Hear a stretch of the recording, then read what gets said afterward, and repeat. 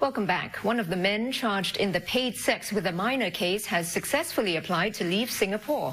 28-year-old Indonesian Rainer Desvando Suhartono will travel to Jakarta tomorrow to prepare for his wedding in June. He's supposed to return at the end of this month, but has been granted another period of leave in May.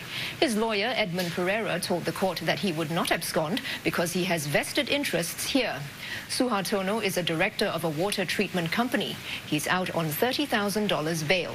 Now, he does have to fulfill certain conditions. He must give authorities his itinerary and overseas contact details. And within 24 hours of his return, he has to report to them and surrender his passport.